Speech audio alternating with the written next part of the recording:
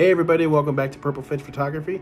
Today we're going to be discussing some of the biggest pieces of advice when it comes to taking amazing photos. One of the biggest issues that I see people facing a lot of the time is not being able to master their exposure. Photos that are too bright or too dark, or if you're facing an issue where your photos don't retain as much detail as you had hoped for, even though you felt like you had the lighting correct. Well, be sure to stick around because I'm going to be showing you guys my biggest tips when it comes to nailing your exposure.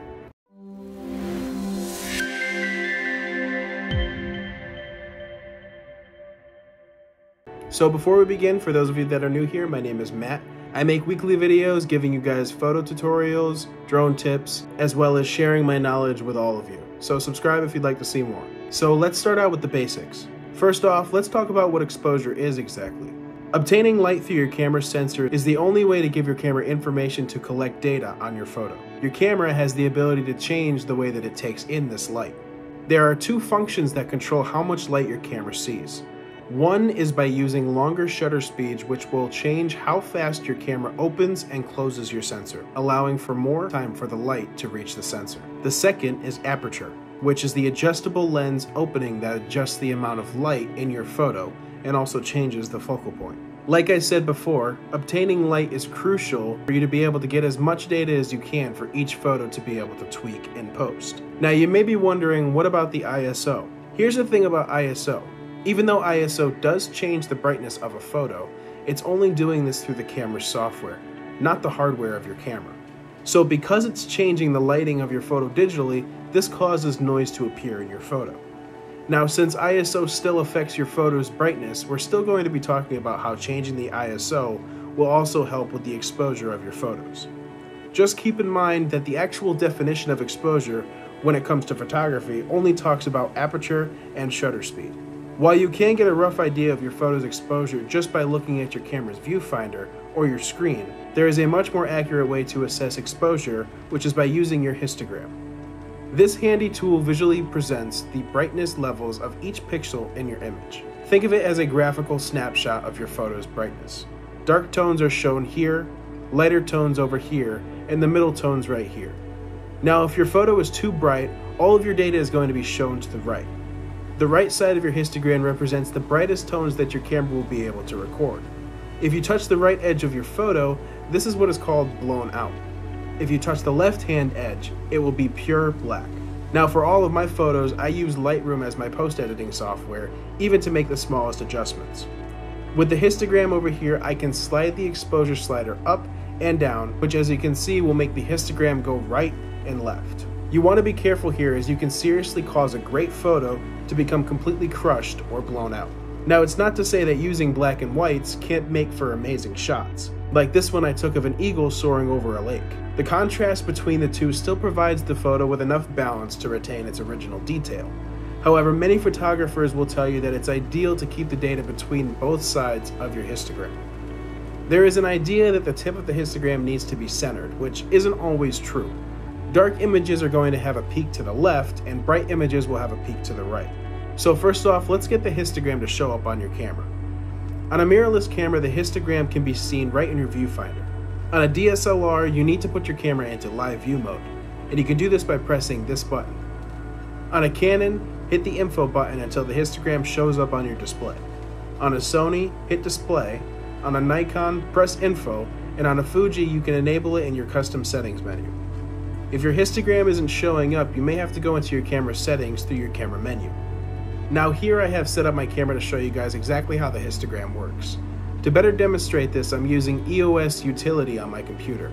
This comes stock with all Canon cameras. So here we have three different variables that affect the brightness of your photo. Shutter speed, aperture, and ISO. What you want to do is put your camera into manual mode and choose two of these variables to start out with then one of the variables to adjust if needed. For example, when I take photos of stars, I use a wide aperture and a long shutter speed. Then I use my ISO to be my tweak step because too much ISO can cause the image to be flooded with noise. A better example of this is when the light is generous and my subject isn't moving. A low ISO of 100 is typically where I would be if it's a sunny day or if you're in a room with a good amount of light. Now for this, I'd like a thin depth of field on this Koya toy here, so my focal is set to 2.8. Now I've left the shutter speed as my last variable. Your shutter speed dial will now be what you use to adjust your exposure easily. You can see that at this shutter speed I'm at right now, the image is going to be way too dark. So in order to brighten the photo, you need to lengthen the shutter speed to get more light on your camera's sensor. You want to do this until the data on your histogram is generally in the middle.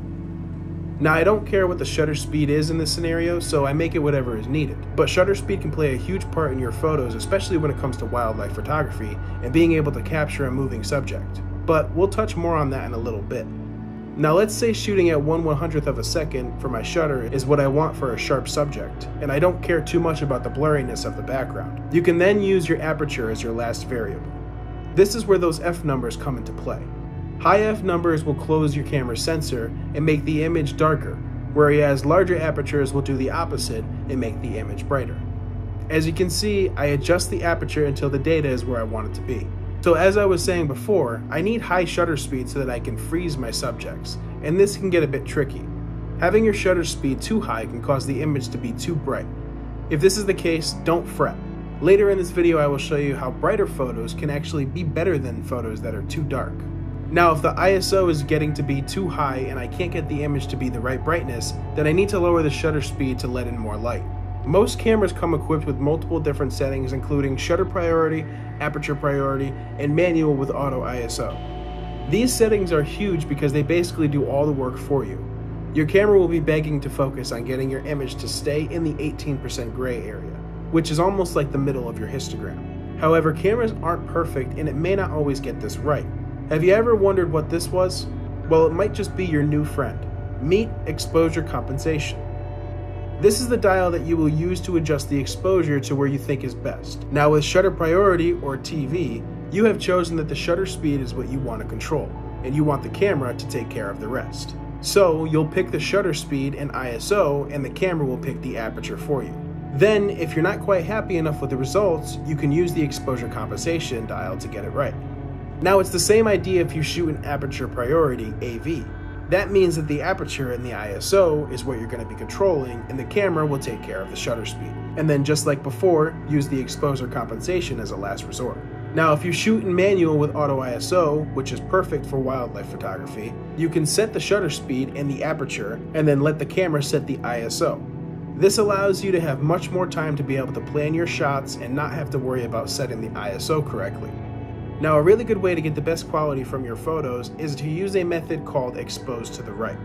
This means exposing your photo just enough for the camera to record as much data as possible without it becoming too bright for the camera to capture. Your histogram should be as far to the right as possible without completely touching the right side. Here is why this works. Digital camera sensors record data in a way that the brighter areas actually have more of an ability to record the data than darker areas. Photos that are darker have less data, and vice versa.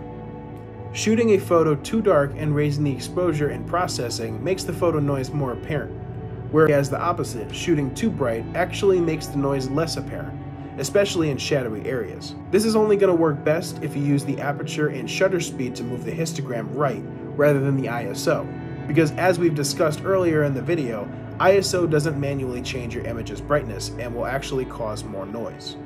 Also, make sure that you shoot in RAW. Yes, it does take up more memory on your card, and it will take a while to transfer the photos to the computer, but if you shoot in JPEG, your camera may completely undo everything that you worked so hard for, because JPEG files don't carry nearly as much data as RAW files do. Now with all of this being said, your images are going to need to be edited later in post, because obviously they are going to be way too bright. But the benefit is, is that you'll have more data to play with in a minimal amount of noise. Now, all this stuff about exposure wouldn't be helpful if we didn't talk about drone photography as well. The principles of exposure, including shutter speed, aperture, and ISO, apply to aerial drone photography just as much. When you're flying your drone, you're often dealing with a wide range of lighting conditions. For instance, the light can change dramatically when you change altitude or direction, or when clouds move across the sun.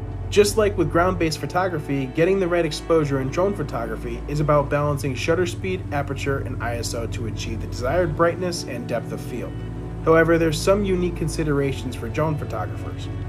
First off, faster shutter speeds might result in darker images, so you'll need to balance this with your other settings. Many drones have fixed apertures, which means you can't adjust the settings to control the amount of light entering your camera.